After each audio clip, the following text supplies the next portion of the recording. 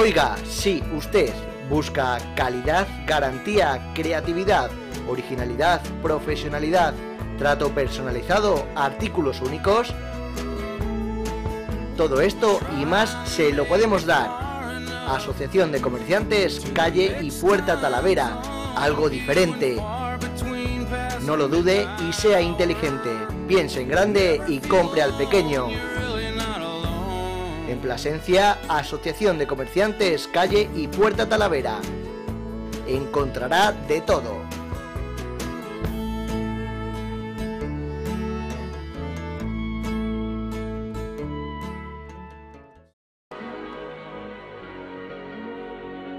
Autos Robesa, líderes en el sector de la compra-venta de vehículos usados y de ocasión en el norte de Extremadura.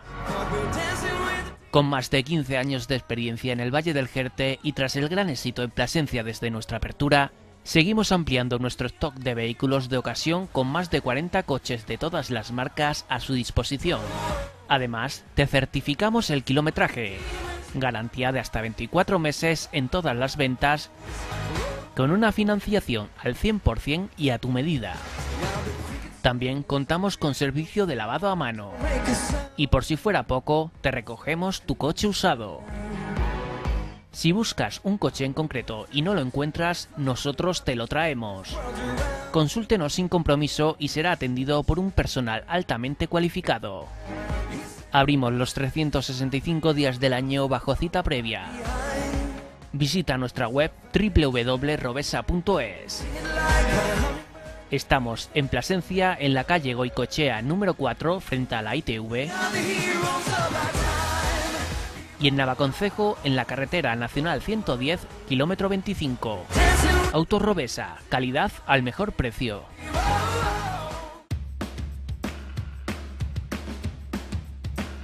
Multisofás Torres la mayor exposición de colchones y sillones del norte de Extremadura.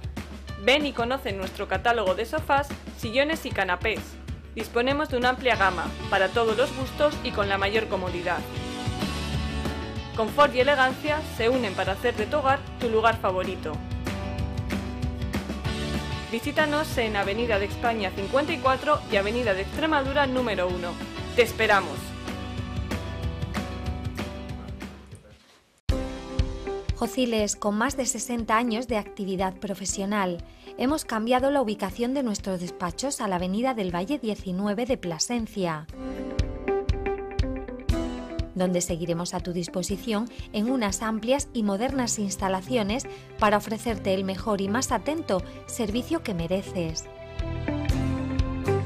Auténticos profesionales con una clara vocación de servicio te recordamos que somos agentes de la propiedad inmobiliaria. Corredores de seguros.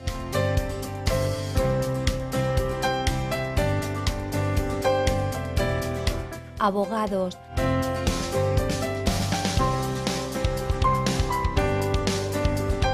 Administradores de fincas.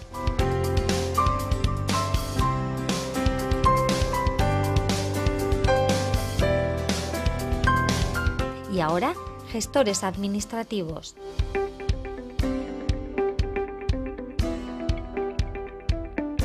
Una dilatada experiencia en la que siempre y ante todo ha primado una seriedad y calidad en la gestión. Ahora queremos aún potenciarla más gracias a estas nuevas instalaciones en las que vamos a ser más accesibles y más cercanos hacia ti y a los tuyos.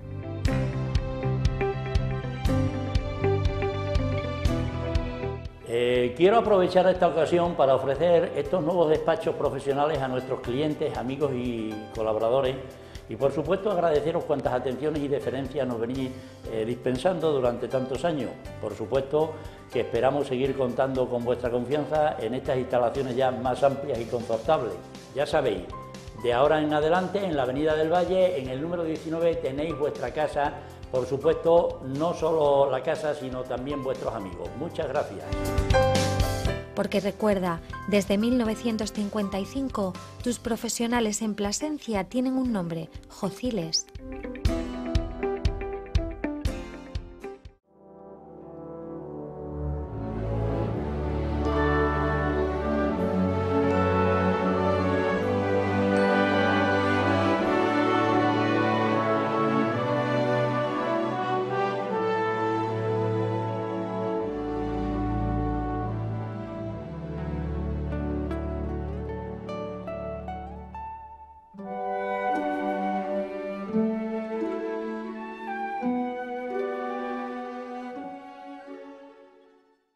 Tal amigos? Eh, buenas noches y bienvenidos a una nueva edición de Perfiles. Hoy en el incomparable marco del Palacio Carvajal Girón, aquí en Plasencia, en pleno casco histórico de la ciudad placentina.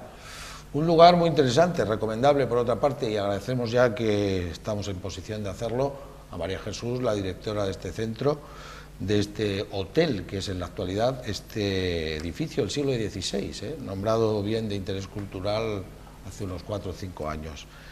Por eso reitero mis gracias a María Jesús y sobre todo es un lugar que está acorde a nuestro invitado, en este caso invitada de hoy, porque hoy tenemos con nosotros a doña Miriam Cortés Dieguez, que no es eh, ni más ni menos que la rectora de la Universidad Pontificia de Salamanca, la que damos en primer lugar las gracias y por supuesto la bienvenida. Buenas tardes. Buenas tardes, gracias, gracias a vosotros por la invitación. Un placer tenerla con nosotros y en este programa de perfiles.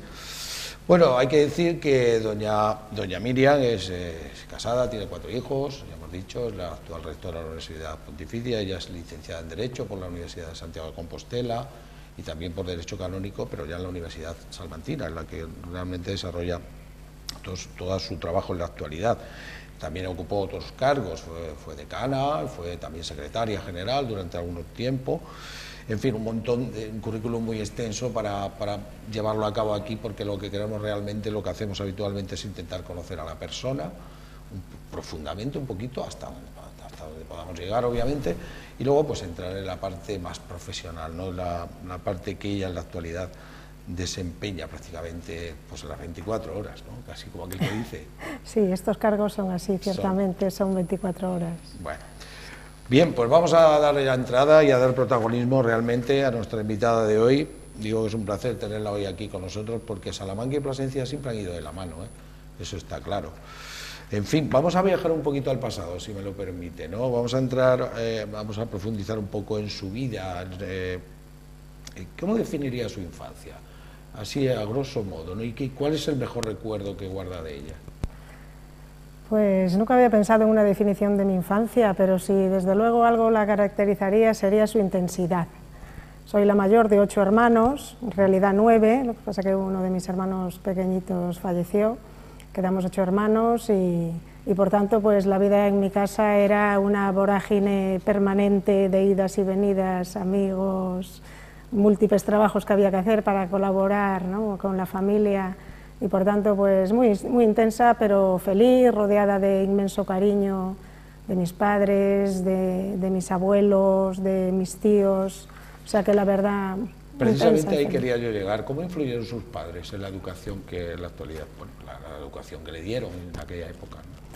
Bueno, mis padres, eh, pues como todos los padres, siempre han querido lo mejor para nosotros, pero antes de nada mis padres siempre decían que lo que querían que fuéramos era buenas personas. Eso lo primero, y eso es lo primero que nos han inculcado, no solo con la palabra, sino con el ejemplo. Y eso tanto mis padres, como digo, apoyados por mis abuelos y mis tíos, que son todos bellísimas personas, pues nos han dado un ejemplo que creo que nos ha marcado en la vida a todos nosotros. Y eso es lo que hemos eh, querido, querido ser buenas personas y luego también pues, eh, personas eh, trabajadoras, dedicadas, porque también nos han concienciado que tenemos que aportar algo a la sociedad. Hombre, yo tengo muchos amigos gallegos, usted es gallega, de Orense, más no se lo he, lo he comentado anteriormente, y yo desde luego los gallegos sí que los conozco y son trabajadores, trabajadores, eso sí que lo puedo demostrar y lo puedo cotejar en cualquier momento. ¿Y cuáles eran sus juguetes favoritos? O sea, ¿qué, ¿Con qué juguetes le gustaba jugar cuando era pequeña? Pues como éramos, pues muchos éramos cuatro hermanos y cuatro hermanas, pues jugábamos a todo. La verdad, lo que más nos gustaba era jugar juntos y sobre todo fuera de casa. Fuera de casa había viñas, porque de aquellas, pues en Orense todavía había bastante campo y salíamos a las viñas y jugábamos a todo. teníamos perros, jugábamos en los campos a hacer gimnasia, que nos gustaba, y, de todo, luego también a las muñecas, por supuesto. Hemos jugado a todo, la verdad que, a muchas cosas, oíamos música juntos. Eh, eh, ¿Cómo llevó el mundo de la escuela? ¿Le gustaba ir a la escuela? ¿Qué es lo que le gustaba mm, realmente? No recuerdo habérmelo planteado nunca. Iba a la escuela y, punto. Siempre me tocaba además por el camino llevar y traer a algún hermano y por tanto ese era mi afán diario, no, no perder a, a mis hermanos por el camino y llegar puntual, que era bastante difícil Y, bueno, pues. tarea, por otra parte. ¿no? Pues bastante tarea, sí. Claro, pues efectivamente, efectivamente. Éramos de en aquella época no era yo sola, había muchas familias numerosas entre mis compañeros y a todos nos tocaba lo mismo. Se nos exigía mucho para la poca edad que teníamos, pero bueno, así hemos madurado, yo creo. Muy diferente la escuela de entonces a la de ahora, ¿verdad? sí, ciertamente, sí. Eh, y bueno, eh, ¿qué es lo que realmente no le gustaba de la escuela? A lo mejor las matemáticas o la física o el francés, no lo sé. Pues nunca he tenido una preferencia muy marcada por nada. La verdad que me, gustaban las letras, me gustaban las ciencias, me gustaba todo, todo aquello en lo que, que yo me metía a estudiar y le, veía la utilidad, o aunque no se la viera, ¿no? lo comprendía y, y lo podía aplicar de una manera o de otra, o simplemente lo aprendía, pues me, llegaba a gustar, siempre he dicho eso, y, creo que le he podido, he podido acercarme a todo de una manera bastante... Me imagino bueno, con tenía bastante... buenas notas, tenía buenas notas. Bueno, tenía de todo, tenía de todo, como también tenía mucho que hacer en casa, no creía que tampoco tenía todo el tiempo para estudiar que yo quisiera, o... Entonces, bueno, pues sacaba de todo, nunca tuve problemas, realmente siempre he podido sacar los cursos adelante obviamente ha tenido que ser así. Eh, ¿Cuál era, por último, ya, cuál era la, en este apartado, cuál era su serie de dibujos animados favorita? Porque todos hemos tenido una infancia con algún personaje en concreto. Sí, bueno, yo recuerdo sobre todo, digamos, nuestra serie favorita de los hermanos mayores era, era la que echaban los domingos, La Casa de la Pradera. Ah, sí, sí, sí. Esa es la que más recuerdo. También recuerdo Heidi, por ejemplo. Heidi, claro. Heidi, sí, sí, que luego se le he puesto yo a mis hijas, sobre todo a mis dos hijas mayores, se lo he puesto mucho, Heidi, porque me parece que es una delicia. pues sí, la verdad es que es una serie que marcó mucha época, mucha, sí, sí. tuvo una trayectoria importante e influyó en más de uno, obviamente, en aquella época. Bien, pues estamos con, con doña Miriam Cortés. Eh, rectora de la Universidad Pontificia de Salamanca, intentando conocerla un poquito más si cabe, y, si, y en este sentido vamos a entrar un poquito más, si ella nos lo, nos lo permite. Mm, ¿Le cuesta hablar sobre usted misma? ¿Le cuesta hablar...? No, no, ciertamente no me, no me cuesta, no me importa. No le importa, no. ¿Qué persona entiende usted que ha tenido, que ha ejercido más influencia en toda su vida? Pues sin duda ninguna mi abuela, mi abuela paterna, porque mi abuela, a mi abuela materna no la he conocido porque mm, mi madre es cubana, entonces toda su familia, incluidos sus padres, han vivido toda la vida en Cuba y yo ellos no han podido venir por las circunstancias comprensibles para todos y por tanto no los he conocido personalmente, pero sí mi abuela paterna que ha sido, pues yo creo que mi gran apoyo toda mi vida hasta que falleció hace unos años. sin duda ninguna, sí. Por supuesto, sin desmerecer nada a mis padres, ni a mis tíos, que siempre han estado ahí, pero mi abuela ha sido la principal, yo creo que persona en mi vida, sí. Bueno, ¿y cuál es su mejor virtud y su defecto, si quiere hacerlo público, por así decirlo? Pues, no sé, yo no diría que tengo ninguna virtud especial, podría decir que soy una persona trabajadora, eso sin duda, no creo que sea falsa humildad decirlo, pues trabajo porque me parece que es lo que hay que hacer en esta vida, hay que aprovechar el tiempo y si se, si se puede considerar una virtud, pues creo que podría decir que soy muy trabajadora. Y defecto, pues quizá un poco perfeccionista, un poco, pero creo que como buena madre de familia, sobre todo numerosa, me gusta tener todo muy controlado. Y quizá... En su justa medida, por así decirlo. En su justa medida, efectivamente, y quizá, bueno, pues quizá pueda ser un, un defecto en determinados momentos, ¿no? Bueno, eso ya. Habría que que preguntas a lo mejor a pues, quienes le rodean. Claro, efectivamente, a lo mejor a mis hijos habría que preguntarles. Vale. Si pudiera quedarse con una palabra para, pues siempre a todos nos gusta una palabra más que otra, ¿no? porque nos, no sé, nos motiva más, nos incita a pensar en positivo. ¿Cuál sería la suya? una palabra... Sí, una palabra que, digamos, que le defina a usted como, no sé, todos tenemos alguna palabra que nos hace más tilín, si me permite la expresión, que otras. Pues yo la palabra que quizá que, más uso, no tanto por mí, que procuro practicarlo, sino en general, porque creo que falta bastante es agradecimiento. Creo que en la vida hay que ser agradecidos, inmensamente agradecidos, y no siempre sabemos serlo.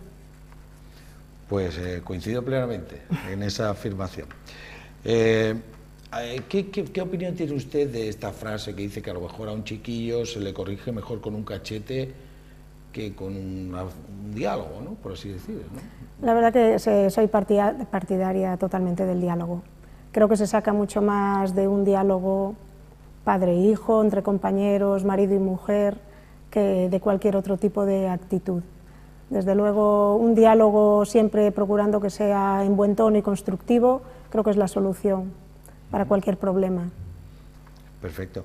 ¿Alguna de las cualidades que más valora en otras personas que la puedan rodear diariamente? personas en general o con las que está luchando día a día. Pues, por supuesto, la, lealtad. La lealtad no solo no me refiero a la lealtad eh, a, uno respecto de otros, que también, sino cada uno ser eh, leal y generoso con lo que está haciendo, con su trabajo o con la relación que tenga, ¿no? pero ser, ser buen cumplidor cada uno de su deber, para mí eso es lo fundamental, que cada uno cumpla a conciencia con su deber y manifieste de esa manera su lealtad con los que le rodean. Se puede afirmar que para estar, eh, que, hay que, por así decir, eh, que hay que creer ciegamente sobre todo en uno mismo para llevar a cabo esa... Bueno, por supuesto tiene que haber una mínima confianza en sí mismo, pero también es muy importante pues, conocer las propias limitaciones.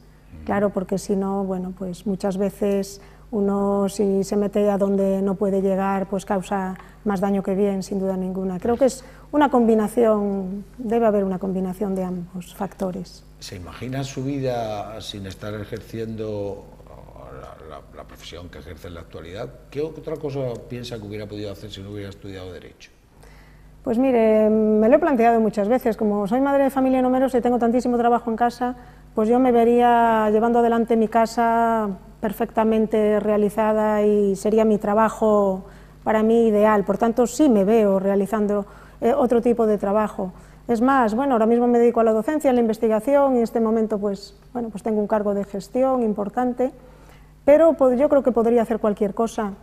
Tengo determinados sueños, yo me dediqué durante un tiempo a la pintura, pues me, me hubiera gustado dedicarme a aquello, también podría ser otro tipo de, hubiera estudiado algunas otras cuestiones, nutrición, por ejemplo, siempre ha sido una asignatura pendiente, que es algo que me interesa mucho.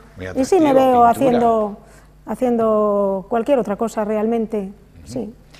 Eh, si pudiera pasar alguna, algún, algún ratito con una persona así ya muy famosa, todos, todos queremos saber, conocer a alguien o estar con alguien, eh, ¿a quién elegiría usted? Bueno, sin pensarlo ni un, ni un segundo, al Papa Francisco.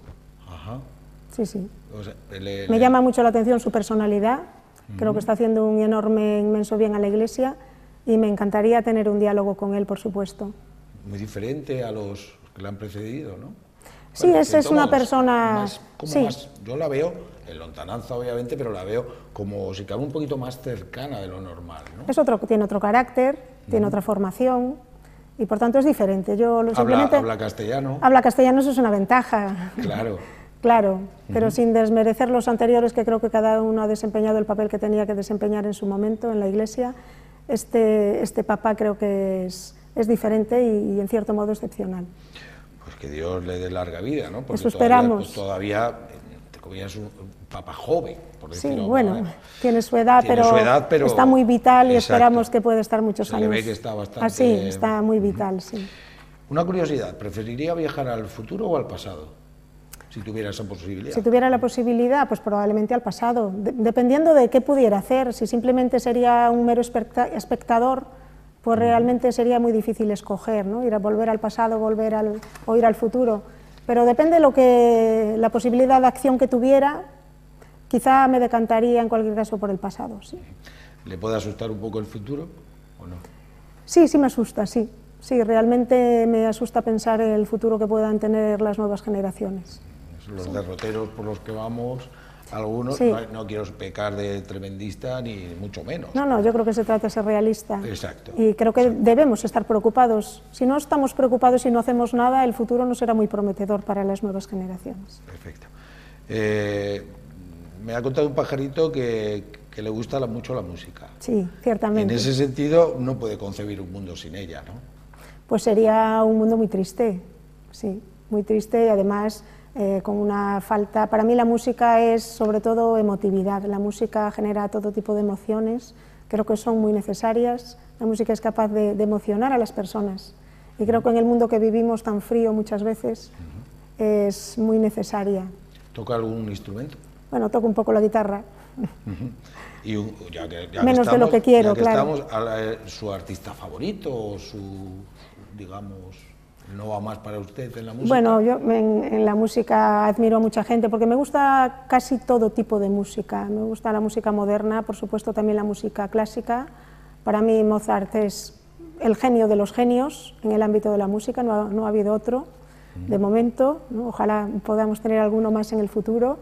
Y todo lo de Mozart me encanta, porque tiene una vivacidad impresionante y me emociona muchísimo. Y del presente, pues hay muchos, eh, muchos eh, cantantes muy buenos. Me gusta José Luis Perales, pero también me, apasiona la música de Queen, la banda Queen, la banda británica, pues me apasiona ese tipo de música, creo que tiene muchísima calidad. Creo que tiene un abanico de gustos. Y luego, bueno, pues como me gusta la guitarra eléctrica, pues también eh, tengo una gran admiración por Mark Knopfler, que es uno de los mayores guitarristas de guitarra eléctrica que tenemos actualmente es ciertamente un genio y me, me, encanta escucharlo. Ya quisiéramos tocar alguno. Bueno, claro. complicadillo, complicadillo. Yo también tengo, también a veces tengo un ratito para tocar la guitarra, aunque también hago con la armónica, porque era una cosa que hacía las dos cosas a la vez. Bien amigos, pues aquí estamos con doña Miriam Cortés, la rectora de la Universidad Pontificia de Salamanca, en este Palacio de Carvajal, Girón, aquí en Plasencia. Y bueno, hemos intentado conocer con esta primera parte de la entrevista un poquito más, si cabe, la personalidad, la forma de, ver la vida, muy de soslayo obviamente, de la rectora de la Universidad Pontificia y vamos a, parar un poquito, vamos, vamos a ir a publicidad, pero no se vayan porque claro, obviamente queda otra parte, la parte ya más profesional en la que doña Miriam pues emplea su tiempo habitualmente a lo largo y ancho de cada día. No, no se vayan porque volvemos enseguida, ¿vale? Venga, hasta ahora amigos. Oiga, si usted busca calidad, garantía, creatividad, originalidad, profesionalidad, trato personalizado, artículos únicos, todo esto y más se lo podemos dar. Asociación de Comerciantes, calle y Puerta Talavera, algo diferente. No lo dude y sea inteligente. Piense en grande y compre al pequeño. En Plasencia, Asociación de Comerciantes, Calle y Puerta Talavera. Encontrará de todo.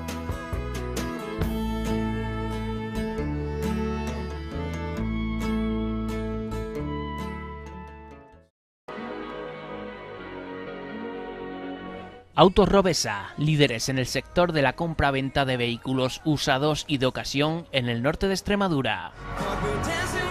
Con más de 15 años de experiencia en el Valle del Jerte y tras el gran éxito en Plasencia desde nuestra apertura, seguimos ampliando nuestro stock de vehículos de ocasión con más de 40 coches de todas las marcas a su disposición. Además, te certificamos el kilometraje, garantía de hasta 24 meses en todas las ventas, con una financiación al 100% y a tu medida.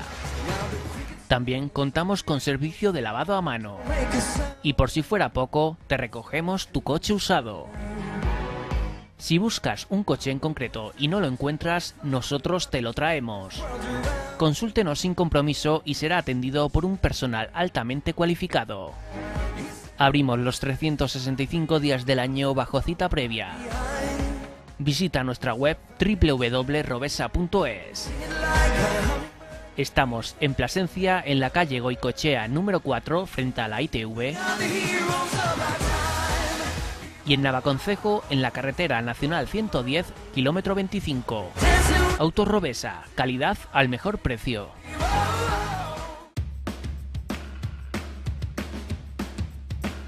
Multisofás Torres, la mayor exposición de colchones y sillones del norte de Extremadura, Ven y conoce nuestro catálogo de sofás, sillones y canapés. Disponemos de una amplia gama, para todos los gustos y con la mayor comodidad. Confort y elegancia se unen para hacer de tu hogar tu lugar favorito. Visítanos en Avenida de España 54 y Avenida de Extremadura número 1. ¡Te esperamos! Jociles, con más de 60 años de actividad profesional, hemos cambiado la ubicación de nuestros despachos a la Avenida del Valle 19 de Plasencia, donde seguiremos a tu disposición en unas amplias y modernas instalaciones para ofrecerte el mejor y más atento servicio que mereces. auténticos profesionales con una clara vocación de servicio. Te recordamos que somos agentes de la propiedad inmobiliaria. Corredores de seguros.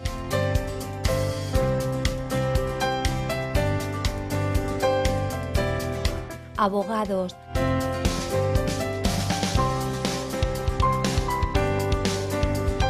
Administradores de fincas.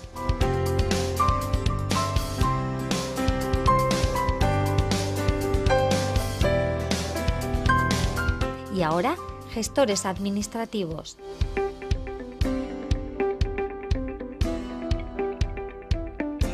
Una dilatada experiencia en la que siempre y ante todo ha primado una seriedad y calidad en la gestión. Ahora queremos aún potenciarla más gracias a estas nuevas instalaciones en las que vamos a ser más accesibles y más cercanos hacia ti y a los tuyos.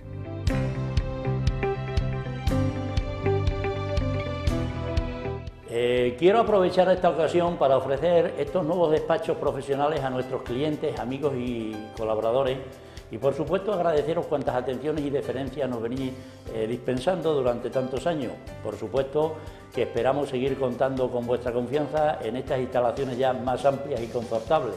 Ya sabéis, de ahora en adelante en la Avenida del Valle, en el número 19, tenéis vuestra casa por supuesto, no solo la casa, sino también vuestros amigos. Muchas gracias. Porque recuerda, desde 1955, tus profesionales en Plasencia tienen un nombre, Jociles.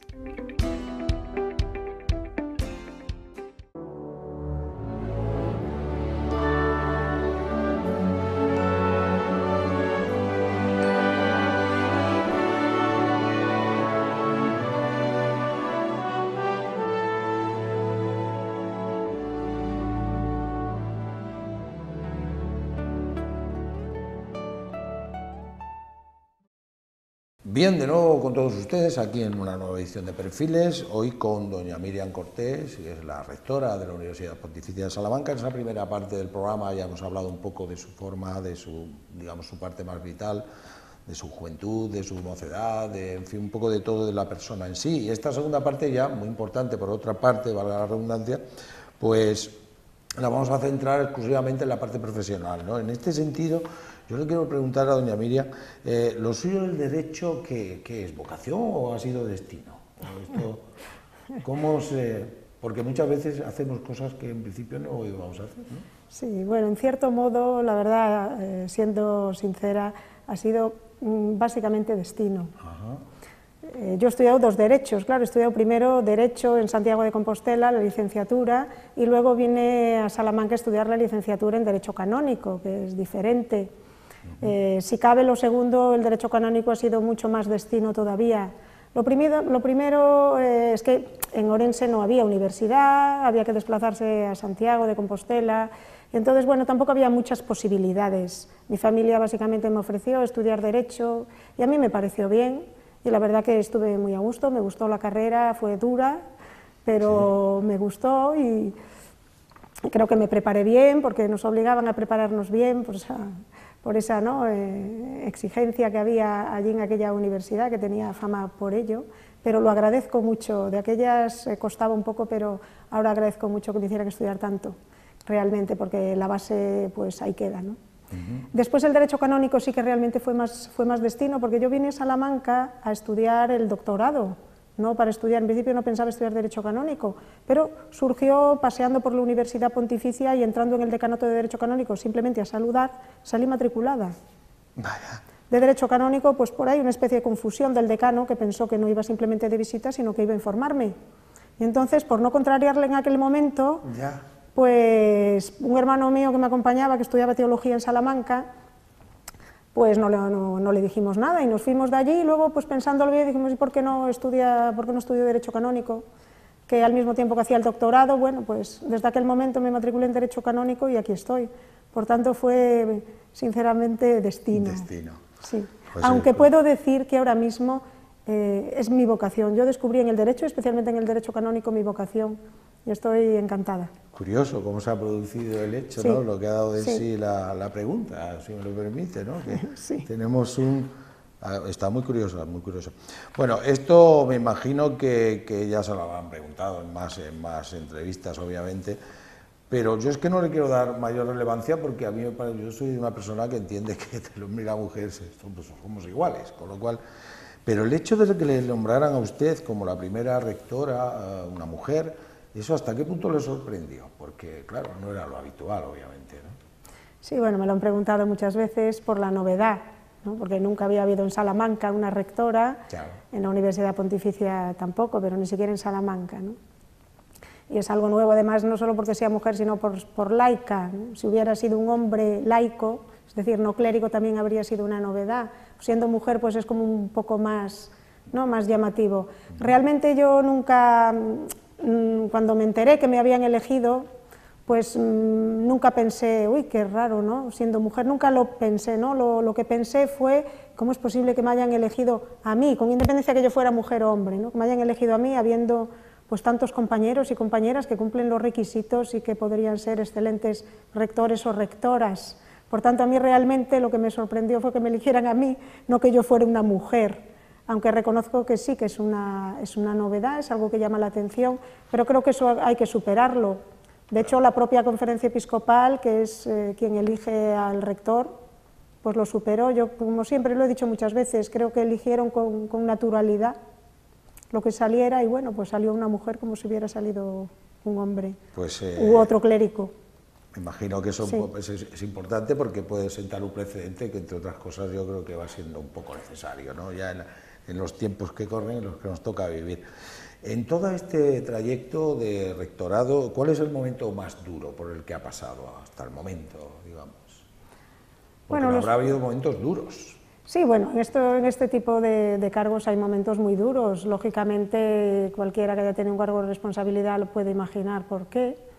Pero quizá, bueno, por las circunstancias, eh, el primer año fue muy duro porque el, todos los grados de la universidad, todas las titulaciones tenían que pasar eh, los exámenes de calidad, que eh, coincidió, no, coincidió en la pontificia, pero coincidió con muchas universidades, y esto yo lo he compartido muchas veces con muchos rectores, como el nuevo espacio europeo de educación superior, lo que se conoce como el Plan Bolonia, establece una serie de, requisitos. Si es reciente, pues digamos que a todos nos ha, nos ha tocado cumplir los requisitos justo cuando, cuando yo he entrado en el, año, en el año 2015 en el rectorado. Entonces, pues me he encontrado de golpe pues, con unos procesos que son largos, complicados, muy burocráticos, nuevos, como acabo de decir, y por tanto un tanto desconocidos, y todas las titulaciones ¿no? de la universidad en bloque, pasar ese examen que se puede aprobar o se puede suspender. Por tanto, pues fue un momento muy duro, de muchísimo trabajo, pero sobre todo eh, cayó sobre mí el peso de una enorme responsabilidad. Gracias a Dios todo se ha resuelto eh, favorablemente, pero eso fue un momento duro, sí. Mm. Bueno, los, comienzos suelen decirse, suelen ser duros, ¿no? En este caso intuyo que fue bastante duro, ¿no? Pues sí, por, esa circunstancia académica, sí, sí, sí. Bueno, vamos a centrarnos ya, si me lo permiten amigos, en, lo que es la UPSA, ¿no? la Universidad Pontificia de Salamanca, una institución que tiene del orden 70 años, 80 años ya. ¿no? Pues hemos, hemos celebrado ya el, 75 aniversario en el... Eh, la universidad fue fundada en 1940, por tanto, en 2020 cumpliremos ya los 80 años. Son palabras mayores. Sí, sí, ciertamente. Bueno, eh, ¿De qué salud goza en la actualidad la UPSA? Podemos decir que está saneada, que es una universidad sana, para, utilizando un término asequible para todo el mundo. Sí, por supuesto, la universidad está sana y saneada. O podemos decir las dos cosas. En todos los aspectos, en el aspecto humano, en el aspecto económico. La universidad está muy bien, la universidad tiene muchísimo dinamismo y por tanto sí podemos afirmar que está perfectamente sana y saneada. ¿De qué manera puede haber afectado la crisis? Porque la crisis eh, lo ha ocupado todo, por así decirlo, lo ha ocupado todo, pero ¿de qué manera ha afectado a la UPSA, a la Universidad Pontificia de Salamanca, esta crisis que para algunos todavía no ha desaparecido, para otros parece ser que sí? Eso ya son opiniones. Bueno, la Universidad Pontificia le ha sucedido lo mismo que a las demás universidades, que al sistema educativo, que a las empresas, le ha, por supuesto, que le, que le ha sacudido la crisis, pero yo creo que no, solo es una crisis, son muchas crisis en las que estamos inmersos, la sociedad está inmersa en, muchas crisis, no solo es la crisis económica, que por supuesto eh, se ha notado, se ha notado, no mucho, tengo que decirlo, pero sí, se ha notado un poco, pero lo que más, quizá lo que, lo que más se ha notado y se está notando, y es lo que nos va a marcar en el futuro, es la crisis, especialmente la crisis de natalidad, la crisis de natalidad como saben de sobras y sabrán los telespectadores, pues ha llegado, ha llegado ya a los colegios y por tanto ha llegado ya hace unos años y está perfectamente instalada ahora en la universidad y nos afecta a todos. Esa crisis de natalidad que afecta pues, a todos los ámbitos de la sociedad, pues sin duda es un problema para todos que, que es necesario eh, tener en consideración y replantear algunas cosas. Junto a ello está bueno, pues, también la crisis derivada de, la digitalización de todo en la sociedad. Y eso obliga, no es propiamente una crisis, son ventajas, pero claro, entra de lleno en lo que es las organizaciones de las empresas y de otro tipo de instituciones educativas y de otro tipo. Y por tanto, la para la universidad también eh, supone un desafío muy importante al que tiene que atender si no quiere quedarse fuera. Y en ese, en ese, digamos, en ese aspecto pues hay algo que también nos afecta y que puede repercutir en el futuro de la universidad. Es un dato muy importante el que apunta. Algunos no habíamos eh, caído en ese detalle, que por otra parte se nos antoja vital. Parece muy, muy, muy bueno el, el comentario. Vamos a centrarnos más en la USA, en el sentido de decir, ¿qué, qué diferencia la USA de otras universidades, de otra oferta académica que podamos tener? ¿Qué le diferencia, qué le hace diferente a la USA para, con el resto? Bueno, la Universidad Pontificia de Salamanca es muy distinta, la verdad, las universidades que, que la rodean sobre todo. En primer lugar, yo creo que hablar de la UPSA es hablar de tradición, la universidad, aunque acabamos de decir, va a cumplir pronto 80 años, pero esos 80 años es en la configuración actual que conocemos. La Universidad Pontificia hunde sus raíces en el siglo XIII. ¿eh? La Universidad Pontificia, es, eh, digamos que mm, bebe de aquella tradición ¿eh? centenaria, ¿no? que está cumpliendo ahora 800 años, en la que el rey Alfonso IX creó las escuelas de lo que se llamó las escuelas de Salamanca o el estudio salmantino. Aquel estudio comenzó con las titulaciones eh, propias eh, de lo que eran las escuelas catedralicias, especialmente la teología y lo que se llamaba los cánones, lo que es ahora el derecho canónico y la filosofía. Y mm, la Universidad Pontificia, digamos que ha restaurado las ciencias eclesiásticas que dejaron de impartirse en la universidad en el siglo XIX y perviven ahora, en la, se han restaurado en la Universidad Pontificia. Por tanto, podemos decir que tiene una, una tradición humanista impresionante. Los más famosos maestros de Salamanca, de la conocida Escuela de Salamanca del siglo XVI, como Tomás, eh, por ejemplo, eh, perdón, eh, Francisco de Vitoria, por decir así, los más conocidos, Fray Luis de León o el mismo Domingo de Soto, pues eran teólogos, eran canonistas, y hoy, pues gracias a que los obispos pudieron restaurar aquellas facultades en 1940, perviven en la Universidad Pontificia y por fin, nuevamente, a partir de ese momento en Salamanca, se vuelve a enseñar en las dos universidades, no en una, sino en las dos, todas las ciencias, las ciencias profanas y las ciencias sagradas, y se dan títulos, eh, títulos estatales y títulos pontificios, lo cual creo que es una gran riqueza para Salamanca. De eso digamos que es lo primero que yo diría que caracteriza a la Universidad Pontificia. Lo segundo, sin duda, es su ideario. Como sabrá todo el mundo, eh, la Universidad Pontificia es una universidad católica que eh, pertenece a la Conferencia Episcopal Española, es decir, a los obispos españoles, es la universidad de los obispos y por tanto, bueno, pues eh, bebe de un ideario donde lo fundamental son los valores cristianos y por tanto eso es lo que defendemos y de ahí derivan otras características que distinguen a la, universidad, como es, eh, por supuesto, esa, dedicación al alumno. Para nosotros el alumno como persona es lo principal y buscamos eh, no solo su formación eh, como, como, profesional, que por supuesto queremos que sean los mejores profesionales, sino además una formación humana, es decir, que entren, en la, y salgan de la, entren y salgan de la universidad eh, con una visión de la vida diferente, mucho más rica, mucho más llena, que les haga personas eh, libres, responsables, solidarias y que sean conscientes de, bueno, de qué se enfrentan al futuro y para qué están en el mundo también, etcétera. Creo que eso es lo que más nos, nos distingue.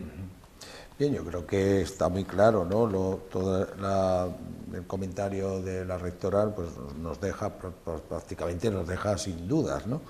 Perfecto en ese sentido. Es decir, bueno, eh, ¿cómo estamos? Porque ya he comentado anteriormente que, que, esta zona del norte de Extremadura y Salamanca han tenido siempre un vínculo muy, muy, pronunciado a lo largo de todos los siglos, de todas las épocas. Pero centrándonos en la parte académica, digamos, de estudios y demás, siempre ha habido un vínculo muy, muy, muy estrecho entre esta zona norte de Extremadura y Salamanca, y la Universidad Pontificia en concreto. ¿Qué se hace para que ese vínculo permanezca vivo, que no, digamos, no se rompa? ¿no? bueno, en primer sí, por supuesto. En primer lugar, lo que se hace es tener conciencia de ese vínculo.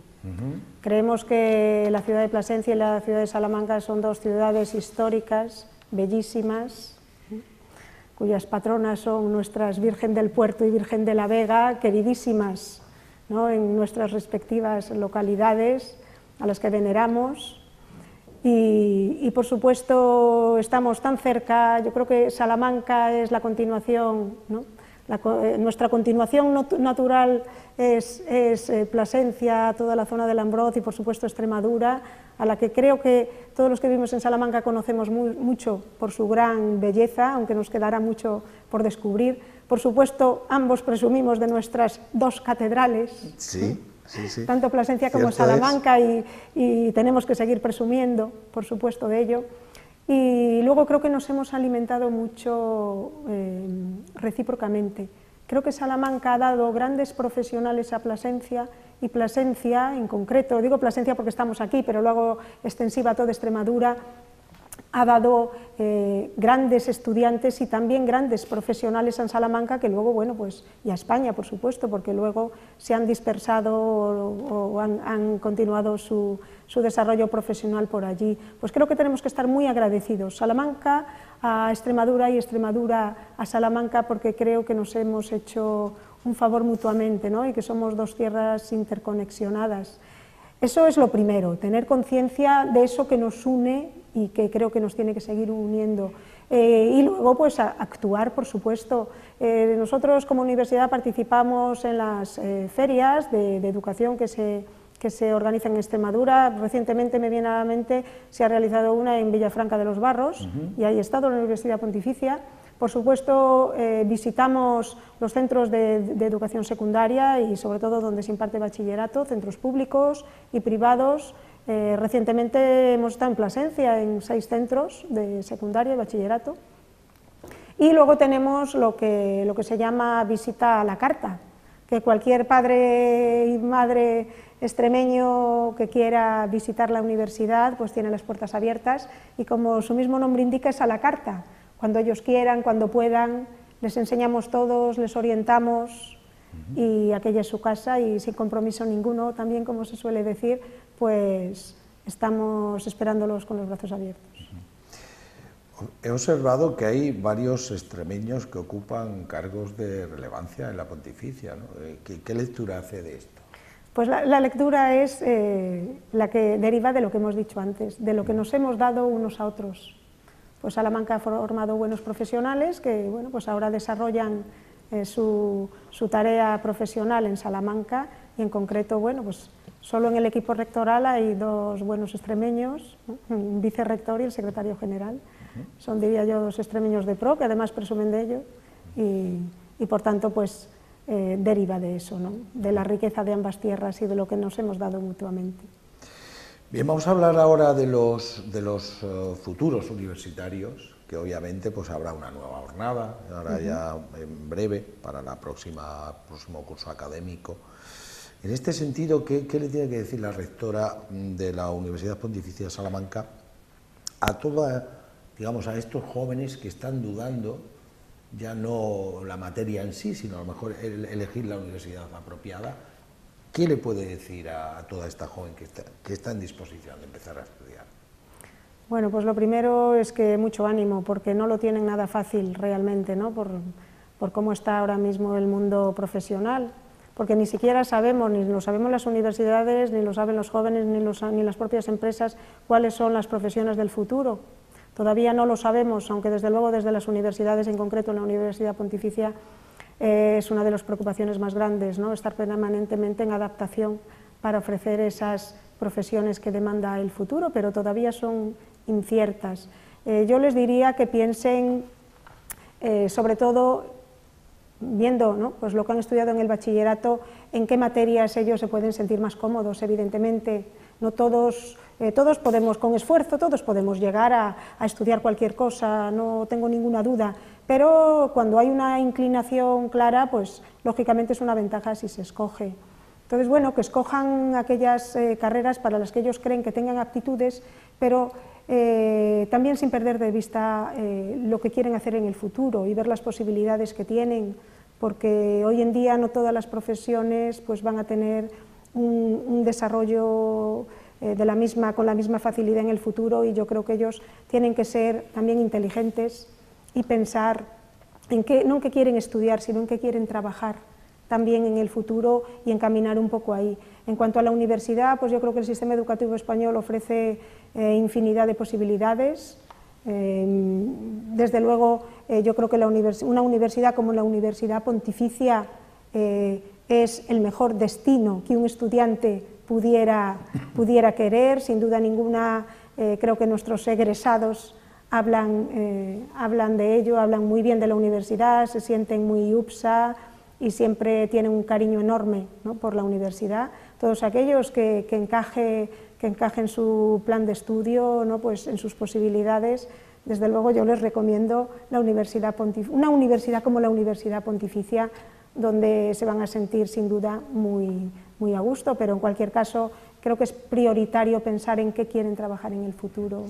Y en este sentido, yo quiero pensar que la Universidad Pontificia de Salamanca es, eh, en la Universidad Pontificia de Salamanca se, recibe una, una, educación bastante personalizada, ¿no? Sí, bueno, por otra parte, muy importante. Sí, sí, como decía antes, deriva de nuestro propio ideario. Para nosotros la persona es fundamental y por tanto, bueno, pues nuestros alumnos son lo primero. Todo gira en torno al bien del alumno. Es, para lo que estamos. la universidad no tiene ánimo de lucro, es un servicio que el episcopado español quiere prestar a la sociedad. Y, por tanto, con ese afán de servicio para nosotros lo primero es la persona del alumno, su formación, pero antes que su formación es su propia persona, por eso creo que lo cuidamos, lo cuidamos mucho al alumno, los profesores conocen por su nombre a los alumnos, eso nos lo permite también que no está masificada, claro. A eso, eso quería llegar también, ¿no? personalizada en el sentido que usted menciona y en el otro sentido, es decir, que la ocupación es muy, muy, muy cercana, ¿no? el ocuparse del alumno, no hay masificaciones, con lo cual eso en cierto modo puede ser eh, garantía de, éxito. El número de alumnos da muchas ventajas, tanto para la formación como para el trato cercano ¿no? y personalizado, por supuesto. Pero aparte de eso, ya digo que para nosotros, eh, por identidad de la universidad y por esa carencia de afán económico que tiene la universidad y porque se plantea como un servicio a la sociedad, pues lo primero son ellos, su formación humana y también eh, cómo estén, cómo lo estén pasando. O sea, nos preocupamos eh, de todos los aspectos y ofrecemos servicios, todos los servicios que ellos necesitan para que cualquier aspecto de la vida, cualquier necesidad que tengan del tipo que sea, pues esté, esté bien cubierta, desde servicios como de asistencia psicológica gratuita, por ejemplo, hasta un colegio mayor donde se les trata, el Colegio Mayor Guadalupe, donde se les trata como, como, como familia y hay 24 horas personas a su servicio y, pendientes ¿no? de su cuidado, pues desde eso hasta pues, unas aulas donde se pueden hacer grupos pequeños para las prácticas que facilitan enormemente el diálogo y eso es muy enriquecedor, la cercanía de las autoridades, todos saben dónde estamos y que estamos a su servicio y podemos decir que, que eso es fundamental para nosotros. Hoy en, día, hoy en día, disculpe, hoy en día eh, está muy el tema este de los másteres, pues está un poco de moda por, cuestiones que no vienen aquí ahora a cuento, ¿no? Pero ¿cuál es la oferta que tiene la Universidad Pontificia en este sentido?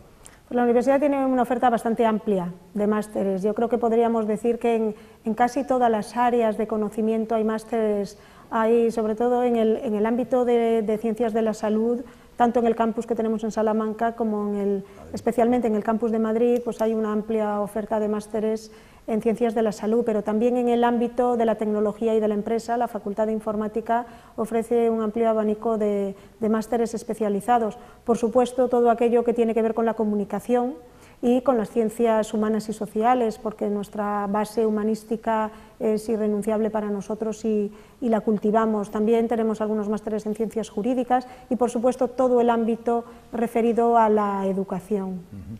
Eh, por lo que nos toca, me imagino que el tema de, la comunicación está bien tratado allí, ¿no?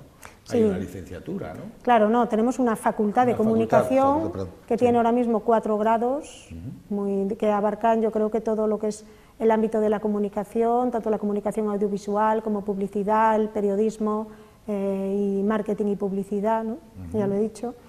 Y pues este procuramos eh, llegar a todos los ámbitos de lo que hoy es la comunicación para que el, alumno que, le, que tenga vocación de comunicación pueda escoger concretamente el ámbito en el cual quiere especializarse más y por supuesto también tenemos diversos másteres que les pueden especializar mucho más o incluso ofrecemos unos planes de planes conjuntos que los, los alumnos pueden iniciar un doble grado y pueden pues terminar con una, con una formación muy interesante, por ejemplo, en periodismo y audiovisual o en marketing y publicidad, que les da pues muchas más posibilidades en el ámbito laboral muy, muy acorde a los tiempos, ¿no? Hay que irse renovando, por así decirlo.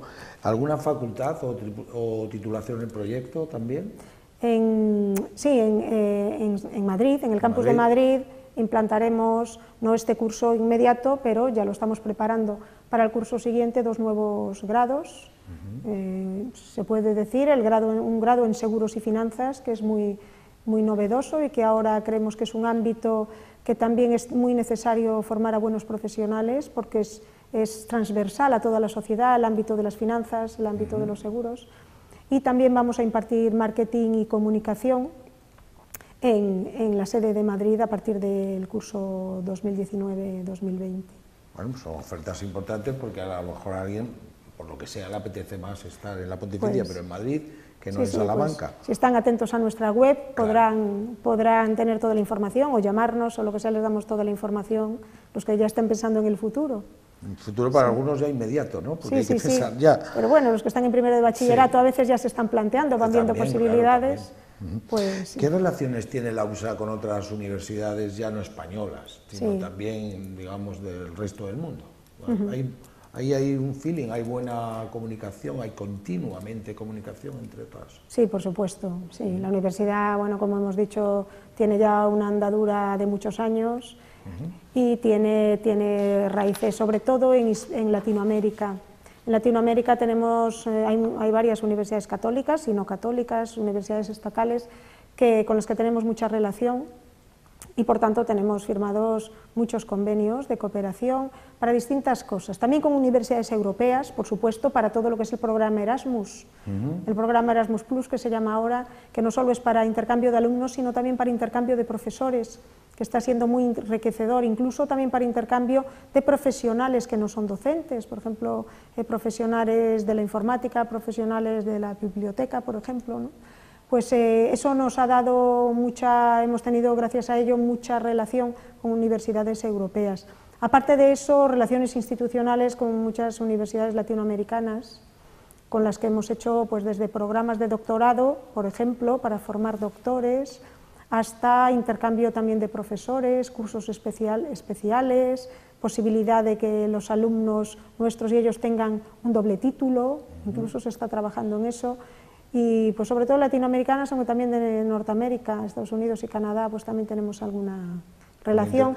Y eso, bueno, tenemos un departamento, que es el de Relaciones Internacionales, que está constantemente pues atendiendo las posibles, eh, manteniendo las buenas relaciones y creando nuevas relaciones. Siempre ha tenido mucha atracción Salamanca en sí como ciudad, cuanto más, ¿no? Sí, con la universidad doblemente atracción. Yo creo que sí, siempre hay buena recepción en este sentido, ¿no? Eh, la competencia siempre se ha dicho, o comentamos, que, bueno, es buena y que nos hace estar alerta. En este sentido, ¿cómo, ¿cómo, analiza la Pontificia de Salamanca posibles competencias que puedan tener? ¿no?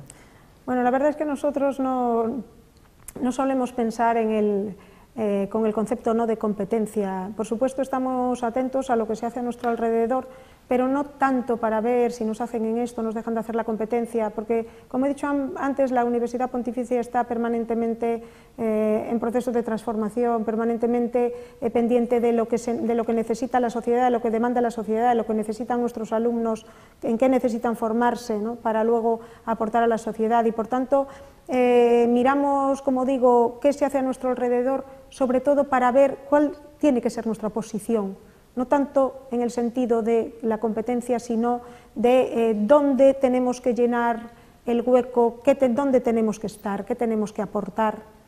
Y, ese es, digamos, nuestro, eh, nuestra, primera, ¿no? nuestra primera mirada y donde fijamos el foco. Bien amigos, pues yo creo que estamos, estamos manteniendo una entrevista realmente interesante, no es para menos, ¿no? habida cuenta de nuestra invitada de hoy, eh, me reitero, la rectora de la Universidad Pontificia de Salamanca, ya estamos llegando casi al final de nuestro programa de hoy de perfiles, pero no me quería yo dejar escapar la oportunidad de preguntarle a doña Miriam si, aunque entiendo que no depende de usted, eh, sí que estaría dispuesta a continuar en el cargo, otros cuatro años más. Pues mire, efectivamente, no es algo que dependa de mí, porque depende de una elección y por tanto, bueno, pues no me lo planteo. Igual que no me lo planteé, no me planteé serlo y acepté cuando me eligieron. Ahora mismo no estoy pensando en una segunda, ningún segundo mandato, sino terminar ¿no? los retos que todavía tenemos en este mandato. Em, no puedo, dependerá de las circunstancias en las que se encuentre en la universidad, por supuesto mis circunstancias personales también, porque tengo una familia, las que determinarán en su momento eh, si continúo por un segundo mandato o no continúo por supuesto, eh, pero em, supongo que en ese momento pensaré lo que he pensado siempre, que estoy a disposición de la universidad y que la universidad me ha dado a mí tanto que yo no puedo hacer menos que devolverle en la forma que me pidan. Lo dejamos ahí entonces porque eso, el tiempo nos dirá qué ha sido en ese sentido, nos dará esa respuesta. Dejaremos que la historia nos ponga en su sitio a cada uno. Exacto. Bueno, una pregunta genérica, porque no quería dejarla pasar, pasar, la oportunidad de tener a una persona como usted aquí hoy en perfiles. No quería dejar yo pasar esta. Es una pregunta muy genérica, pero me importa mucho y me imagino que a los televidentes también les importará. ¿Cómo valora la educación española en general en la actualidad? Así, a grosso modo. Porque ahí para y tomar tenemos de todo, ¿no? Sí, bueno, es una pregunta difícil de responder. Ya. Realmente. Mm, la, educación en España, sin duda ninguna, ha mejorado muchísimo. Para empezar, mm, podemos decir que prácticamente todos los españoles tienen derecho a la educación. bueno, por supuesto que tienen derecho, sino tienen acceso a ese derecho, es decir, ven correspondido ese derecho a la educación, lo cual es un avance enorme. Pero también, claro, esa, digamos, esa mm, facilidad de acceso a la educación ha determinado eh, que proliferen, ¿no? quizá, ¿no? quizá en exceso, eh, como digo, no soy experta en ese tema, ¿no? no puedo asegurar que sea en exceso, pero quizá, ¿no? lo pongo en duda, que sea en exceso. Eh, entonces, pues mm, tenemos, igual que tenemos en la realidad de las universidades, muchísimas, muchísimas universidades, pues también pasa en el resto de, de, centros educativos, hay muchos centros educativos, entonces cuando hay tantos centros educativos, no se puede atender con la calidad que merece la educación de cada uno, de cada una de las personas, no se puede atender esa calidad, porque si tenemos, claro, si tenemos eh, tantísimos, tenemos que llegar a todos y no podemos llegar igual de bien como se merecen tantos centros. Entonces yo creo que se ha sacrificado eh, un poco la calidad por eh, tener, digamos, esa más facilidad de acceso, sobre todo más cercanía, porque eh, todos los niños en España tienen derecho a un centro y, yo creo que hay suficientes universidades públicas como para atender a, toda la demanda. Pero esa proliferación de centros y de universidades quizá haya, eh, haya sido a costa de la calidad. Eso dicho así con carácter general. Y no solo, no, no solo creo que pueda sufrir la calidad, sino también no se llega a otras cosas. Yo creo que falta mucha integración todavía en la educación en España no se atiende como se debe atender a, a, las personas que, bueno, que, simplemente eh, son distintas. ¿no? Hay una diversidad enorme, hay gente, no digo con más o menos capacidad, sino con distintas capacidades y no se atienden convenientemente esas, esas capacidades diferentes que tienen unos y otros. Y eso, bueno, pues eh, no se llega pues porque hay que atender a tanto y quizá habría que concentrar un poco más, digamos, concentrar un poco más el tiro, ¿no? Bueno, pues, ¿qué más podemos añadir? ¿no? Yo creo que para una pregunta tan genérica me da la sensación de que la rectora la, ha hecho pues, acorde a su, a su calidad, no a su entidad. Bien, eh, doña Miriam, yo no sé si ha pasado un rato agradable o... Muy agradable, sí. Pues, Encantada de estar siempre. Es mutuo. En esta ciudad, sí. Y yo lo que, le, quiero pedir por última vez ya, bueno, los que se vayan a decidir ya, ¿por qué tienen que ir a la pontificia? ¿Por qué tienen que ir a la pontificia concretamente a estudiar? A los padres de estos futuribles, de estos jóvenes, eh, como un mensaje último a esta parte norte de la región extremeña. Bueno, pues todos aquellos que se estén planteando venir a Salamanca y venir a la Universidad Pontificia, que sepan que los vamos a acoger con los brazos abiertos, que sus hijos y sus hijas pues van a estar en la mejor familia académica que podrían imaginar que ahí estaremos para atenderlos, para formarlos, para cuidarlos y por tanto, bueno, que con toda creo que pueden confiar en la universidad y en las autoridades, en los profesores, que me consta que se esfuerzan cada día ¿no? por estar más cerca del alumno y formarles lo mejor posible y por tanto que con toda confianza pues que vengan a la Universidad Pontificia que los esperamos. Pues yo creo que queda dicho, ¿no? Enormemente agradecido a, doña Miriam Cortés Dieguez, ya dijimos, gallega para más señas, que ocupa un cargo, ojito, hay que tener muy en cuenta el cargo, ¿no? Rectora de la Universidad Pontificia de Salamanca, ha sido todo un placer. Muchísimas para nosotros gracias. tenerla aquí hoy. El placer ha sido mío. Y bueno, eh, esperamos vernos en un futuro, ¿no? y sobre todo saber si continuará o no continuará. Nos quedamos con esa, el tiempo nos dará o nos quitará la razón. Muchas gracias. muchas gracias a ustedes y un saludo a todos los espectadores. Bien, amigos, pues ahí estaba, la cabeza visible, si se me permite la expresión, de la Universidad Pontificia de Salamanca, su rectora, que hoy ha tenido a bien estar con nosotros en esta nueva edición de Perfiles. Espero que lo hayan disfrutado que hayan sacado sus propias conclusiones y que tengan una decisión más o menos tomada, ¿no? esa oferta que nos hace desde Salamanca su rectora para, pues eso, ¿no? si tienen gente en edad de estudios universitarios, pues ahí tienen la oferta de la Universidad Pontificia de Salamanca. Esto es todo, amigos. Nosotros nos veremos en otra ocasión, no, no pasando mucho tiempo. ¿eh? Hasta siempre, adiós.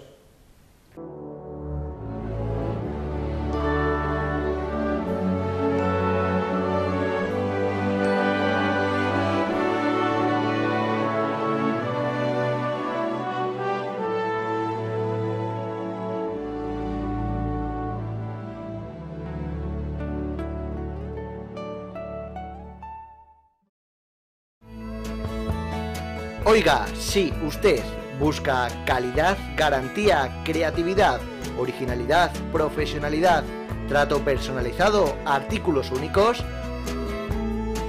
todo esto y más se lo podemos dar. Asociación de Comerciantes, calle y Puerta Talavera, algo diferente. No lo dude y sea inteligente.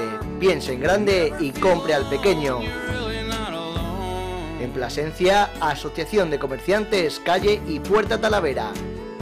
Encontrará de todo.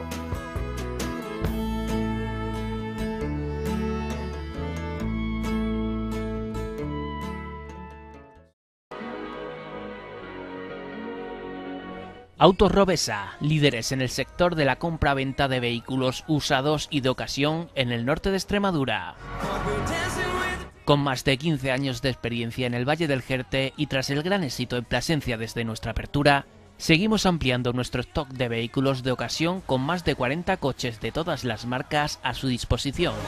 Además, te certificamos el kilometraje, garantía de hasta 24 meses en todas las ventas, con una financiación al 100% y a tu medida. También contamos con servicio de lavado a mano. Y por si fuera poco, te recogemos tu coche usado. Si buscas un coche en concreto y no lo encuentras, nosotros te lo traemos. Consúltenos sin compromiso y será atendido por un personal altamente cualificado. Abrimos los 365 días del año bajo cita previa. Visita nuestra web www.robesa.es. Estamos en Plasencia, en la calle Goicochea número 4, frente a la ITV. Y en Navaconcejo, en la carretera nacional 110, kilómetro 25. Autos Robesa, calidad al mejor precio.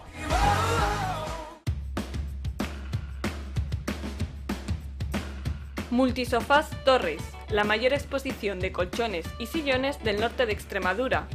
Ven y conoce nuestro catálogo de sofás, sillones y canapés. Disponemos de una amplia gama, para todos los gustos y con la mayor comodidad. Confort y elegancia se unen para hacer de tu hogar tu lugar favorito. Visítanos en Avenida de España 54 y Avenida de Extremadura número 1. ¡Te esperamos! Jociles, con más de 60 años de actividad profesional, hemos cambiado la ubicación de nuestros despachos a la Avenida del Valle 19 de Plasencia, donde seguiremos a tu disposición en unas amplias y modernas instalaciones para ofrecerte el mejor y más atento servicio que mereces auténticos profesionales con una clara vocación de servicio te recordamos que somos agentes de la propiedad inmobiliaria. Corredores de seguros.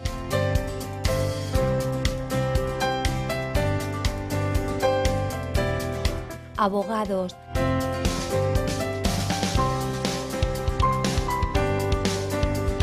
Administradores de fincas.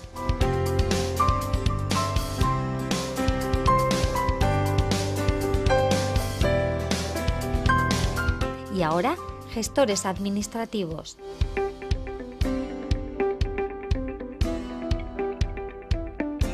Una dilatada experiencia en la que siempre y ante todo ha primado una seriedad y calidad en la gestión. Ahora queremos aún potenciarla más gracias a estas nuevas instalaciones en las que vamos a ser más accesibles y más cercanos hacia ti y a los tuyos.